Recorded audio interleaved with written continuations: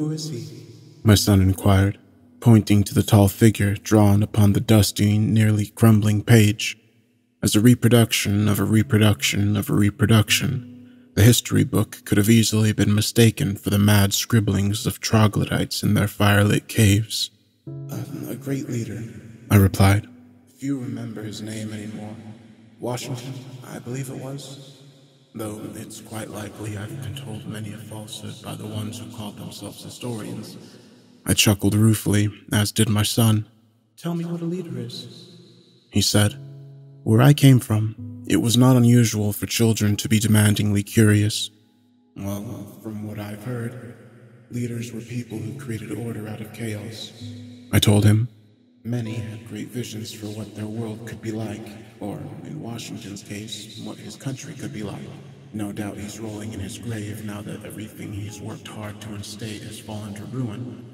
By now, my son had put the old book aside and was peering out of the red tinted window wistfully, his chin resting on his arms, which were in turn resting on the steel windowsill.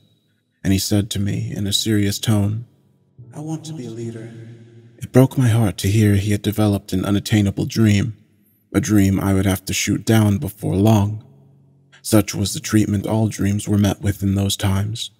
But the sadness I felt then seems silly to me now that I wonder in vain what has become of his poor soul. He could be anywhere or nowhere, and it's likely I'll never know. By all that is holy, I only hope he is in a better place than I am now. According to the historians, there was a clear cut and seemingly unbreakable force called natural law governing my native planet in ancient times. A set of rules you could follow carefully in order to predict the behavior of things and get to where you wanted to be. Of course, there was nothing of that sort to stabilize the era I grew up in. Life was a sick game of chance for us all, a game I wouldn't hesitate to call hellish if not for the fact that I'm now intimately familiar with the word's true meaning. I decided long ago that the only way to end the game would be to rid the cosmos of the Earth entirely, just as one might excise a malignant growth from an otherwise healthy individual. If there was no hope for us on the little white planet, we might as well bring some balance to the universe and cease to exist, I figured. The idea came to me in a most peculiar manner, worming its way into my consciousness as though it were the fey whisper of a shadowy muse. I hadn't the foggiest clue of how said idea could be carried out, but I searched for one whenever opportune nights presented themselves, whenever the sun ceased to scatter its radiation, never knowing what I might find, if anything. Each night lasted only as long as the Earth's prodigious rotational velocity would allow. I removed my son's evening rations from the icebox and served it to him on a sheet of cardboard, not telling him where the meat came from so that he wouldn't be deterred from getting his nourishment. Unbeknownst to him, wild game of the sort found in olden tales had long since gone extinct, leaving only the frozen, emaciated corpses of our own kind to dine on when they turned up now and again. Much of my own childhood was spent consuming the wholesome reserves of beans and rice stockpiled in the bowels of our bunker, but upon parenthood, it became clear to me that my child would not be so fortunate. I'd be lying if I didn't regret bringing him into that broken world many a time. Sustenance was growing scarcer by the day, so I forewent my share that eve. Not that raw human heart sounded very appetizing even in my desperate state, I would have roasted my son's rations for him if physics were cooperating that day. But alas, every attempt at striking a match, let alone igniting a bundle of tinder with one, resulted in a conflagration that lasted but a few milliseconds, expanding outward like a fireball and singeing the hairs on my hand before disappearing entirely. The elements, especially fire, seemed to take on different properties at different times, betraying nary a clear pattern in their fluctuations. This randomness decided the fates of men, and I feared it would soon decide my son's and my own for the worse before I got a chance to do what I was meant to do. The sun began to race out of sight, heralding a new interval of darkness. It was time. I'll be back, I said to my son as I donned my gloves and boots and leather coat, pulled the fur lined hood over my head, gathered a few miscellaneous implements, and equipped an old but still functional gas mask.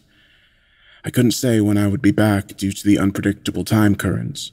Whether I would be back at all was no sure thing either, but some things are better lied about where children are concerned.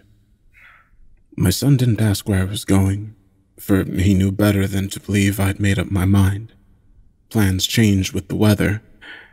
Speaking of weather, I've always found it rather amusing that the term is said to have once encompassed so few variables the temperature, the sun, the clouds, the wind, and a few other trifling things. Why, if the historian's words ring true at all, the ancients were a soft lot with no valid cause for worry. I faced the intraceable whims of a mad god and called them weather, while the history books detail parables about the melancholy nature of rain which I hear was a phenomenon where tiny droplets of pure crystalline water fell out of the sky. Sounds like a utopian dream to me. Not melancholy in the least. On any occasion, I would have given anything to have rain problems instead of time problems and physics problems, not to mention problems of other planes of reality which I now face head on. Problems I cannot label or name for the life of me, or shall I say for the death of me as death has since usurped survival as my chiefest goal. There are dark, dark things lurking in the blackness betwixt the celestial bodies, and I have seen them, experienced them, lost myself to them. Give me all of your rainy days, O ancient ones, and I'll give you all of my demon haunted nights. When I put my hand on the steel door handle and pressed down firmly, the pressure in the room changed, and a fierce wind howled through the newly opened gap. Before much of the enervating fumes from the outside filled the room, I was on the other side, and the door was sealed shut again. The windows of our Spartan, vault like shelter were heavily tinted for a reason to filter out the sun's torrid rays. As a side effect, the tinting prevented us from seeing the landscape as it truly was without wandering out of doors. Now that I was seeing it through my own eyes once again, and not through that blood red filter, without which we would be solely irradiated to total disfigurement in the daylight minutes. I was simultaneously filled with awe and trepidation. There were massive, windswept dunes of snow heaped upon the horizon. Tall black towers protruded from many, blotting out dense clusters of stars with their staggering height. And then there was what was colloquially known as the brooding star, a great violet light burning in the sky. The inclination to admire its ominous beauty was familiar to me, as was the converse instinct to avert my gaze to avoid being lured by some insidious trap. To me, it was now second nature to second guess everything. In the past, I had caught wind of too many horrid legends to be anything but cautious. But now I know from experience where those legends came from. Now I know that I wasn't nearly cautious enough. As always, I surveyed the land in search of a new opportunity to change things some way, somehow. It was not unusual for the various structures around me to shift positions overnight, or for new objects to come and go with the temporal tide. I noticed something conspicuous in the far, far distance, but before I wasted any time analyzing it, I withdrew my pocket watch and wound the timer so that it would alert me in 35 minutes, just a minute short of a full night's length. Then, I raised the brass spyglass I'd scavenged in my youth and strove to make out the dark, pointy thing resting in a valley between two knolls of snow. It was a pavilion, I realized. I'd seen many of them before, as the historians would often appear in congregations of white tents, ever riding the river of time to hawk their wares which were debatable curiosities at best, risible forgeries at worst. But this pavilion was black and solitary. The optimist in me was excited, for I was witnessing something of untold promise, while the pessimist in me knew how dangerously far away the tent was and made my muscles stiffen, as if to prevent me from trudging after it. No amount of protection would save me from the radioactive light of day if I failed to return home in time. The sun, However hot its golden beams may have been, were never enough to thaw the planet. But make no mistake, They never failed to pierce leather and flesh and bone and bestow ungodly maladies upon anyone foolish enough to stand in their way. I've seen the results of such poisoning, and they were not pretty, unless you're psychotic enough to find prettiness in the gradual necrosis of skin, disintegration of cartilage, and rotting of gray matter. Staring pensively at the point of interest, I made what I now know to be the worst decision of my life. I began to march thither. By this time, the cold was already biting viciously at me, and soon a colossal gust threatened to topple me over, leading me to anchor myself in place by crouching for a time. The filter of my mask did a fair enough job at keeping me alive, but the air still smelled faintly of ammonia and a number of other inhospitable chemicals. A headache ensued. The time currents, for one thing, were calm that night, as I discovered when I peeked at my pocket watch and noticed the hands shaking only slightly. I could have used the currents to my advantage had I known the secrets of their workings, but only the historians and their masters knew those. It was rumored that the Black Towers had something to do with it all, and that the historians' masters were in fact the very extraterrestrials responsible for the existence of the towers. But who could have known for sure but the historians and the Star Dwellers themselves? Inquisitive thoughts like these filled the time that elapsed between my outset from home and my arrival at the mysterious pavilion. The tense canvas walls flapped in the wind as I approached it. Something about it filled me with dread now that I was able to observe it up close. Unnerved for reasons unknown, I would have turned around and fled right then and there, but curiosity and hope still burned in me. Against my better judgment, I walked stealthily toward the entrance flap, swept it aside slowly, and beheld the uncanny presence within. Sitting on the rusty metal grid of a mattressless cot was a robed, hooded figure with his head in his hands, a figure I surmised to be male. The robe, being many sizes too large for the being, covered everything but his pallid hands. He didn't appear to be wearing a gas mask, and thus I was puzzled as to how he managed to breathe the toxic atmosphere freely. More interesting than the weird being himself was the looking glass, large and triangular, situated on an easel of sorts behind him. I was mesmerized by it, for it didn't merely reflect what was before it, but was a veritable window into the amorphous depths of space. I saw in its surface a starlit nebula of many colors, all the while confused about how I could be seeing such a thing so clearly through what appeared otherwise to be a simple silver framed mirror. A few wrought iron candelabra were arrayed along the pavilion's margins, and atop their candles danced otherworldly flames that I fancied were the color of lightning. In another world, I perhaps would have called them beautiful, but in that moment, they were, to me, horribly redolent of the brooding star. They evoked all the undesirable feelings of helplessness and nausea I would associate with the violet light in the sky, only on a smaller scale. It was in their sickly glow that I noticed a noose curled up beneath the cot. The figure's shallow breathing was his only movement. At this point, I began to lose my nerve, what with the uncomfortable silence and the eldritch appearance of all that I was beholding. I checked my pocket watch once more. Twenty minutes remained. Fifteen were required just to make it back home, leaving me with hardly five minutes to spare. What could I hope to accomplish in five minutes? I wondered. When no answers came to mind, I released the entrance flap and turned my back on the pavilion. It was then that I heard a cold and hollow voice call out in a strange whisper from within the tent behind me. Father. I was stopped in my tracks.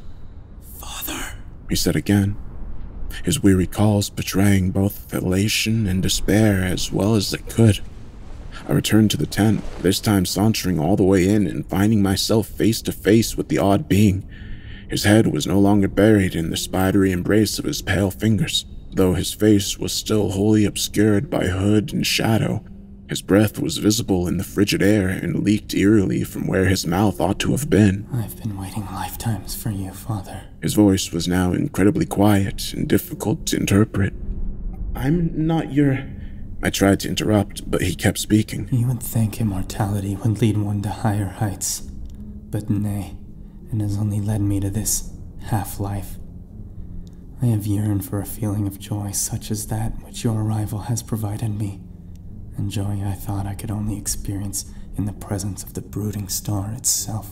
A shiver crawled down my spine as he uttered those words, and a morbid curiosity proceeded to overtake me swiftly and inexplicably, a curiosity the likes of which I'd never experienced prior. This led me to ask, What do you know of the brooding star, and how could you possibly know anything about it?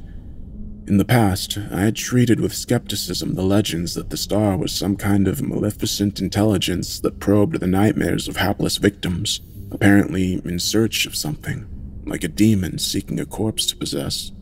Yet, there was no denying that it was more than just a queer light with unnerving properties. It speaks to me, the being said. For that privilege, I gave up the ability to speak to it for it does not like to be challenged but by the ignorant. I gave up my humanity, my face, for this miserable existence, for the opportunity to. What was it? Bring order to chaos. He let out a subhuman sigh.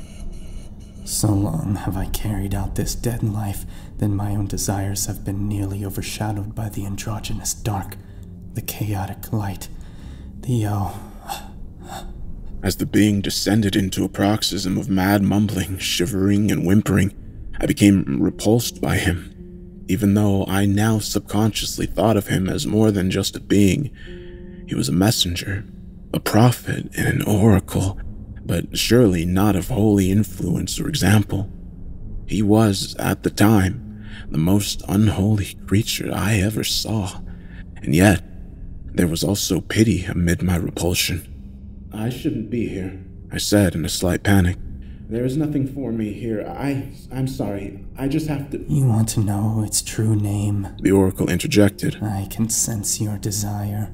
Before I could tell him otherwise, he profaned my ears and my soul with a distorted utterance that I dare say no mortal man would have been able to repeat. It was the ineffable appellation of the brooding star, the dread signature of an alien presence hopelessly beyond human comprehension.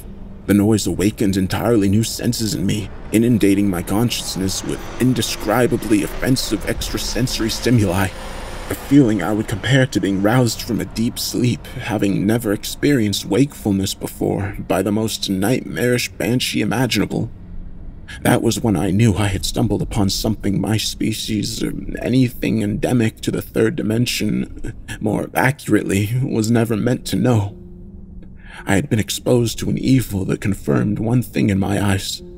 My little white planet had been wholly forsaken by God, left to the mercy of things even he would dare not confront. Good day, I shouted deliriously, backpedaling toward the entrance so as to make my escape. The oracle screeched, lurching onto his feet. It was a screech much like that of a barn owl and slightly reminiscent of the wailing of a mountain lion both of which I'd heard in allegedly antique recordings. Our interests are mutual, Father. We both want to put an end to this. this chaos. I cannot do it without you. Don't you know? What do you want with me? I managed to say. I could have bolted at that moment, but a strangling fear made me anxious about resisting. I want you to summon the brooding star, that he may consume this corrupted world and restore the cosmic balance. You will be rewarded beyond your loftiest dreams for this deed, Father. Believe me. It was my desire to see the earth destroyed, and, and now it appeared fate was on my side. This crazed oracle seemed to be the opportunity I had been seeking all along. And what of my son? I queried, forgetting momentarily that the oracle had illusions about his relationship to me. What will become of him? The oracle stared soundlessly in answer and I felt his unseen eyes glaring at me from beneath his hood. Trying in vain to consider all the possible ways this scenario could unfold, I examined as many of the thoughts reeling inside my head as I could. Finally, I asked, What must I do? Kill me, he begged in a hoarse whisper. Kill me. That was enough. I couldn't deal with this deranged creature anymore. Fate be damned, I hastily backed into the starlit night and oriented myself in the direction of home, withdrawing my pocket watch without thought. To my shock, time had all but run out. One minute remained. I let out an unrestrained curse. Had that much time really passed? I might have completely lost touch with time while under the influence of the brooding star's foul name. I realized, or perhaps a temporal storm made its way past me without my knowing. Panic shot through me. If I was to end up dead, regardless of my next move, what choice did I have but to turn back and acquiesce to the Oracle's mad request? With that, I drew my switchblade and steeled myself for what I thought was about to occur. But nothing could have prepared me for what actually did occur. My hot, stale breath made me dizzy as it collected in my poorly ventilated gas mask, yet it didn't prevent me from storming into the pavilion and taking a successful stab at the Oracle's jugular. As he fell back onto the rusty cot, so too did his hood fall back. I instinctively looked away, for I beheld for a millisecond his grotesque, inhuman face. As I cowered, I noticed that my knife and sleeve were stained with blood that was as black as tar, not red as I would expect. I heard an airy cackle erupt from the oracle, no doubt the product of a newly damaged voice box and a long demented mind. Having made an oath to myself to put an end to this thing's pathetic life, I closed my eyes and stabbed savagely at the oracle's face and neck too many times to count. I felt the projectile spurting of unnaturally cold and viscous blood with every blow. Out of breath, I finally ceased my attack and opened my eyes with caution. His face was now obscured with his own inky bodily fluids and thus slightly less frightening, but still more revolting than anything I'd ever seen before it. He lay there, gurgling with each breath, mere voiceless air bubbling out of his facial orifices, until he wheezed for the last time and went limp as a beheaded snake. The violet candles mysteriously extinguished themselves upon his death, darkening the already dark area and the wondrous triangular looking glass ceased to be wondrous, appearing now to be nothing more than a conventional mirror spattered with a very much unconventional substance. A sudden gale beat violently against the canvas walls from outside. What have I done? I mumbled to myself. I made my way outside and looked around, noticing immediately that the brooding star was nowhere to be seen, seemingly extinguished or relocated. How its light managed to disappear so quickly was beyond me, for the theory of relativity, or a flawed interpretation of it at least, was not alien to me. Then again, if there was any place the ultimate speed limit of the universe might be broken, it would have been around that blasted plot of space-time whence I came. My pocket watch proceeded to ring stridently, heralding a wave of panic and presaging my doom. Death was now inevitable, though I had a seeming choice of how I would end radiation poisoning, chemical poisoning, blood loss, or perhaps hypothermia. Before I could ponder my options deeply, the scorching sun peeked over the horizon.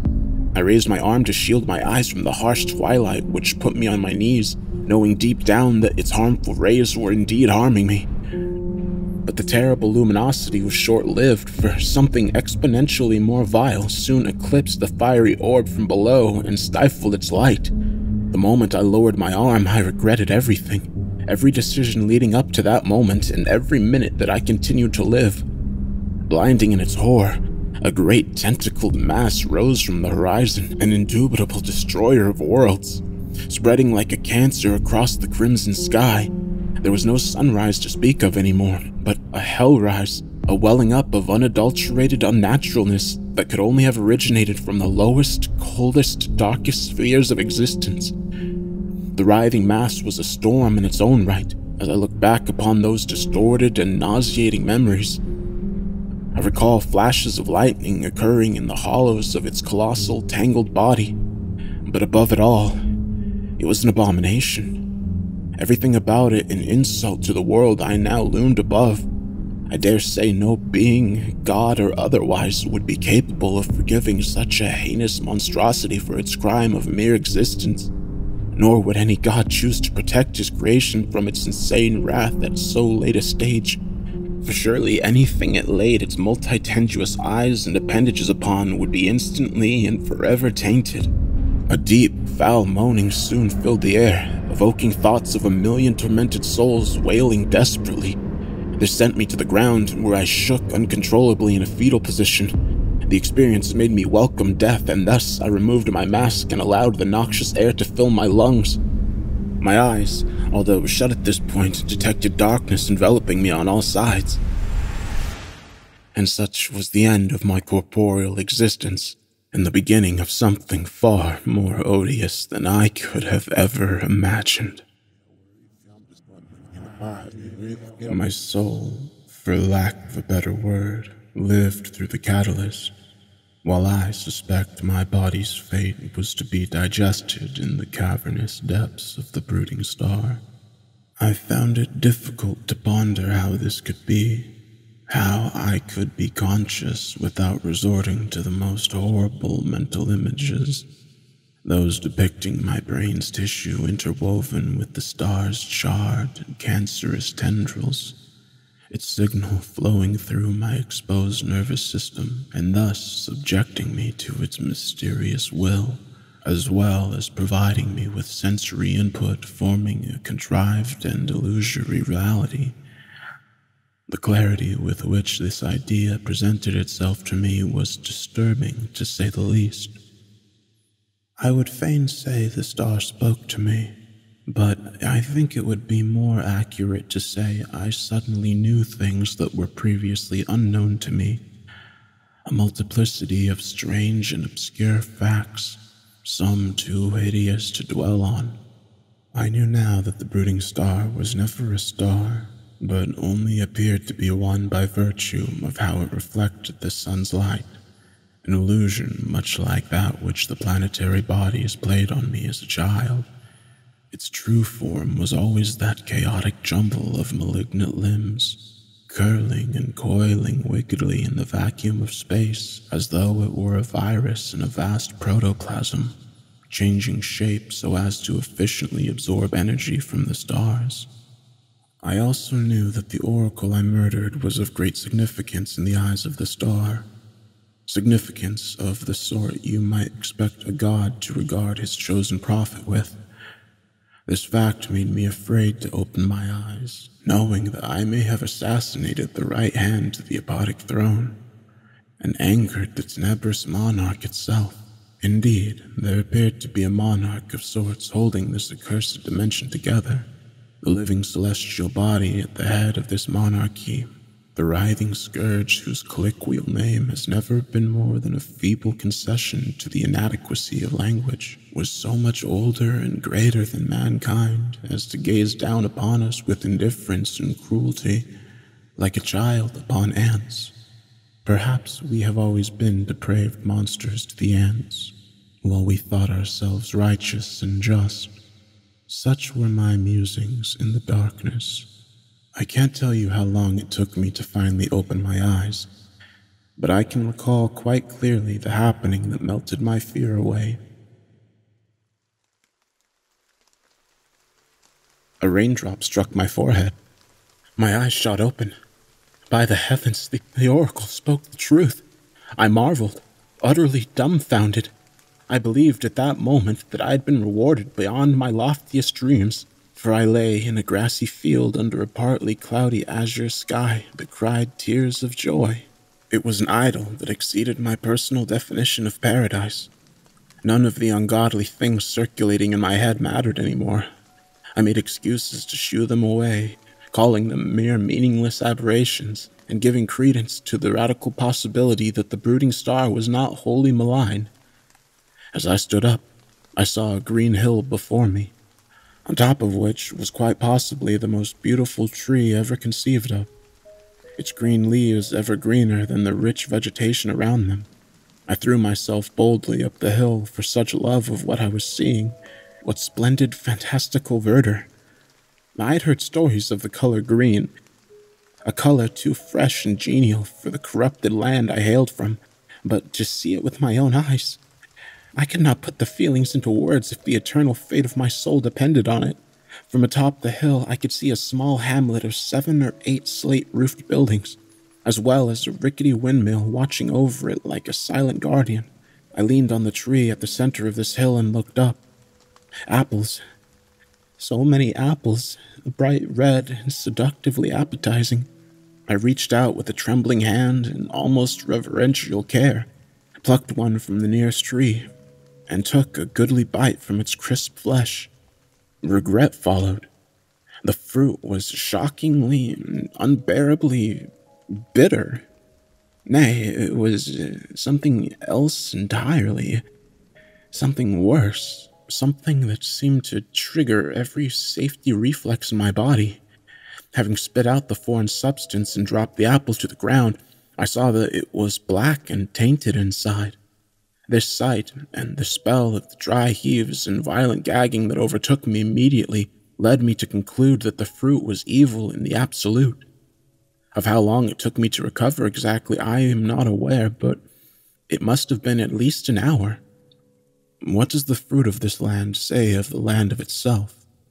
The ground that feeds this damnable tree, I thought, as I lay there with my back against the grass. My mind began to return to places I never thought it would visit again. The sky darkened in proportion to the darkening of my thoughts, thus losing its heavenly blueness.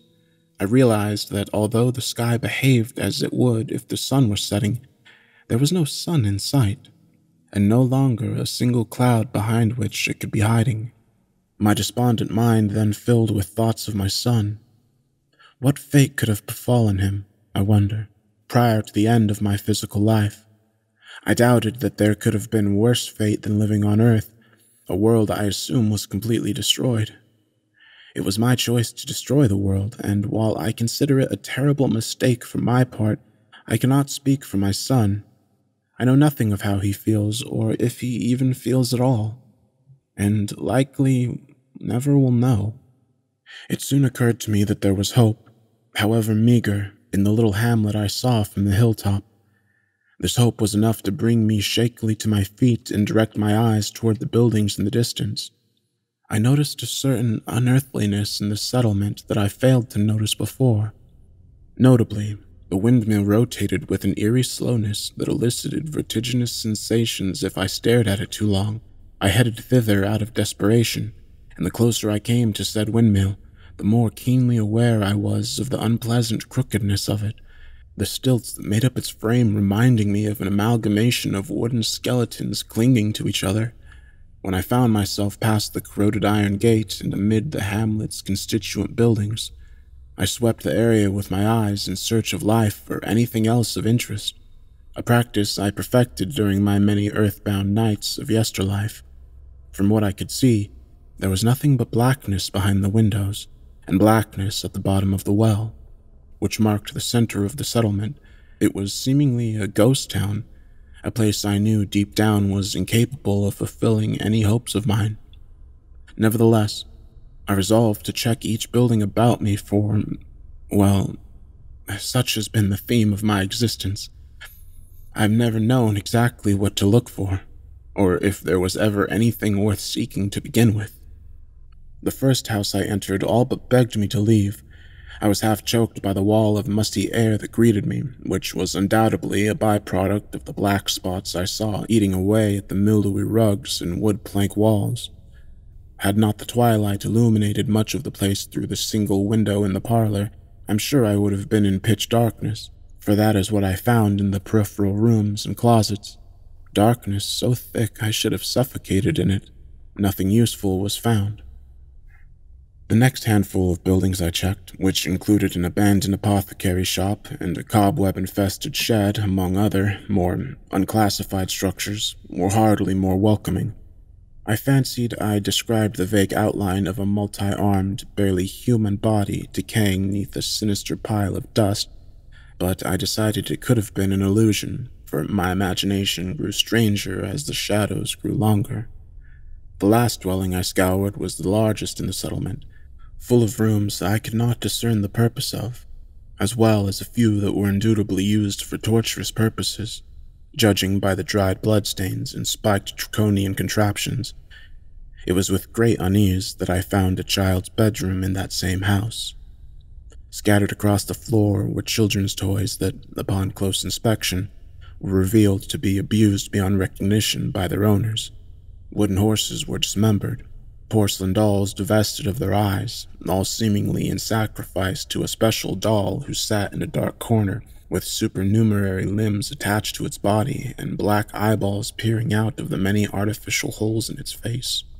I knew at once that this doll was a vulgar effigy of the brooding star. Not at all accurate, but indicative of a desperate attempt on the part of its maker to please the star and be freed from its influence. This was inexplicably clear to me, just as a number of other unearthly things were when I awoke to this realm. Around the effigy's neck was a thin chain, and dangling from that chain was a skeleton key. It wasn't until I approached the dark corner cautiously and tore the key from its chain that I realized how repulsive a key could be.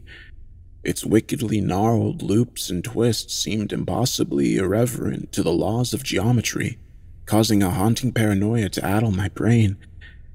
Made worse by the countless eyes of that unnatural effigy staring psychotically at me from the darkness. Though everything about the key was unpleasant, I felt as though I would regret leaving it behind. So I slipped it into my pocket in hope that I needn't catch a glimpse of it ever again. As I turned around and headed for the door, my stride was quickened by a peculiar scuttling noise of unknown provenance I was feeling vulnerable and claustrophobic from the tenebrous atmosphere already, but that shuddersome sound sent me over the edge. I had to get out of there. And get out of there I did. Returning to the open air was not as comforting as you would expect, for there was an uncomfortable absence of fresh air. Specifically, there seemed to be no air at all, only a profound emptiness that refused to console me. By now, night had fallen entirely, along with my spirits. I couldn't decide which fate would be worse being all alone in this unwelcoming world, or sharing it with the unwholesome beings of the scuttling, many limbed sort my imagination hinted at. Another dichotomy of fates presented itself to me madness or sanity, which would be more preferable? To be at the mercy of real horrors and keep my head, or face illusionary ones and lose it? Unfortunately, I would have no say in the matter, and thus the pondering proved pointless. Wandering aimlessly across the center square of the hamlet, wandering aimlessly about the center square of the hamlet, I was bedeviled by fate, indecipherable voices. I was on the verge of mistaking them for the wind that, that is, until I remembered that there was no wind. I put my ear to the ground many times in many places, hoping to locate the source of these voices, eh, to no avail. Eventually, I noticed the voices grew more hasty and demonic each time I walked past the central well, and so I approached it. It was obvious to me that this well was the source of the whispers. I put my hands on its somewhat slimy stone rim and peered down it as I did when I first passed through the gates of the ghost town this time with more intention. I once again saw only blackness, and I smelled metallic vapors reminiscent of blood wafting up from the depths. That was when I heard it. The well whispered. Could it be? I wondered. Could it be my son, trapped in the depths of this wretched place? Or could it be the delusional oracle who ought to be dead? How is this happening? How is this happening? Son! I shouted into the well. There was no comprehensible response, only disembodied whispers growing more impatient. The deathly vapors began to affect me in strange ways, making me feel dizzy and listless. A sudden weakness overtook me and forced me to use the well's rim for support. To my panic, this weakness grew worse until, after a minute or so, I was all but paralyzed and entirely deprived of balance, leaving me at the mercy of gravity, who was not merciful and saw to it that I slid helplessly into the well's gaping maw. There was a splash and a number of crunching sensations as I collided with the floor. Indeed, it felt as though I had broken every bone in my body. I opened my eyes to the pool of water I lay prostrate in, which was quite shallow yet dark as the river Styx was said to be. I lifted my head up, despite the pain of doing so, and made a feeble attempt at surveying my surroundings. The optical sense aside, I already knew I was in some kind of dank chamber by the reverberation and humidity alone. It was with sight that I discerned the rest of the nature of said chamber, and its nature was loathsome beyond words. Cages environed me like the cells of a panopticon, to which I was the central eye. Creatures of indescribable repugnance convulsed impatiently in these cages, teeth gnashing, limbs shaking, their rotted larynxes giving vent to insane desires now that they sensed vulnerable prey in their midst. The abhorrent, torturing wails, I knew. would never end until I released these blasphemous whores from their squalid enclosures to do with me what they would. I recognized at once the holes in the cage's locks, and my hand all but drew itself to the twisted key in my pocket, that I might subject myself willingly to the lesser of two ghastly evils. This reality bears all the hallmarks of a great and terrible thought occurring in a great and terrible machine. The biological machine that is the brooding star. But what is the reality I previously inhabited? Was it merely another thought in another machine? No matter. Philosophy will not save me, for I have been hexed with upwards of a thousand curses, one of them increasing the potency of my memory a hundredfold. I would have considered that a boon in my previous life, but here and now it causes me great agony. Every seven years I am forced by these things, my savage masters, to relive the horrors of my past, to novelize my trauma, that their pursuits of torture and torment may be immortalized and regarded with favor by the brooding star. All of my trials, the tainted apple, the harrowing effigy, the noxious well, and the others I have written of elsewhere, all of it was by design, formulated by the underlings of a veritable interstellar god. I reside on my knees in a room furnished with a stone altar upon which stacks of gray, sickly vellum, a vitreous inkwell, and a raven quill rest. There are innumerable shelves surrounding me on all sides, shelves upon which the works of my misfortunes lie by the score. My painful memories become more lucid with every pen stroke, made worse by the inevitable fact that my future will be just as dreadful or worse than the days before me. Dread specters patrol the halls tirelessly. Even now, there must be one leering at me from the shadows. I know it. The curses prevent me from falling into a comfortable insanity as the beings about me have, leaving me gazing longingly over the edge of dementia every second of every moment, silently begging for oblivion.